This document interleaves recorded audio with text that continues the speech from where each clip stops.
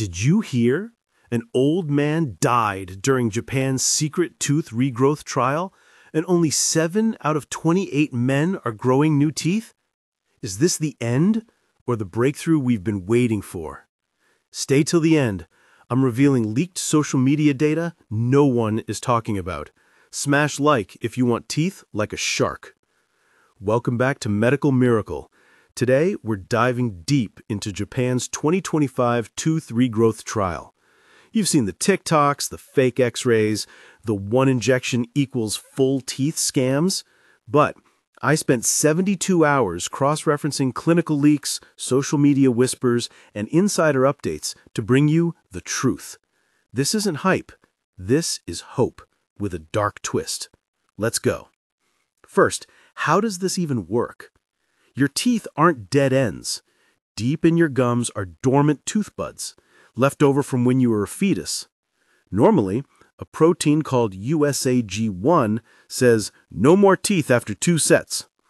Japanese scientists at Kyoto University created TRG35, an antibody drug that blocks USAG1.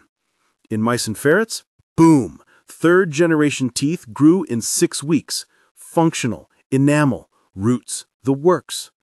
Now they're testing it on humans, and that's where things get wild.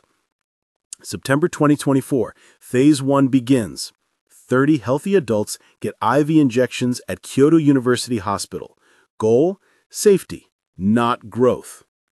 Fast forward to 2025, they expand to kids with congenital anodontia, born missing six plus teeth. But here's what no official press release says. Social media leak number one.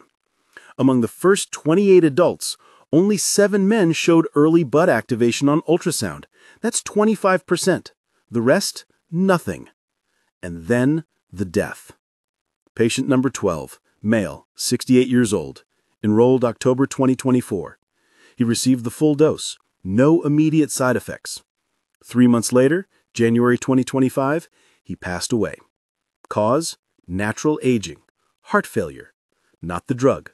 Autopsy confirmed zero drug-related damage. But here's the kicker. He never grew a single tooth bud. Social media went nuclear.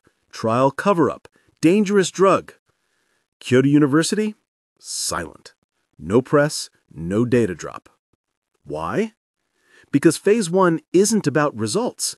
It's about not killing people. One death from old age doesn't stop a trial.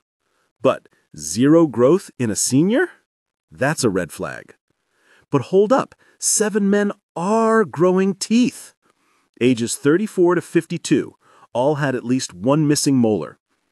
Ultrasound at week 12 showed tiny white dots under the gum, blood vessel formation, early dentin layering.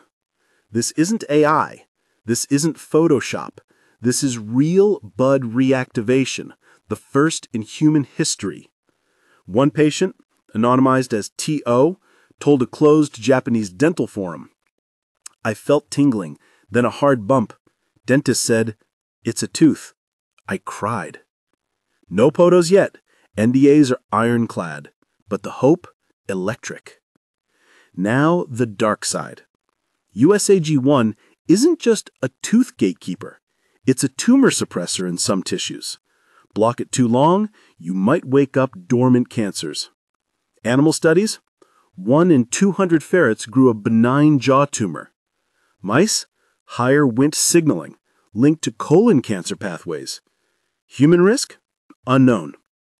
The drug is IV only, not a pill. That limits exposure, but long term? Dr. Takahashi said in 2024 cancer risk is theoretical, but we won't know until 2030. So, yes, hope, but not without shadows. So, why the silence? Phase 1 is blinded. Even researchers don't know who got placebo. The death spooked PR. One old man dies equals bad optics. Only 25% response rate, not ready for journals. But leaks keep dripping. A Kitano hospital nurse allegedly posted, then deleted. Seven buds confirmed, zero in women.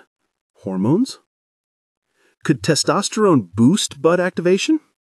They're testing it now. 2026, Phase 2, 200 patients, kids first. 2028, Phase 3, lost teeth from cavities or trauma.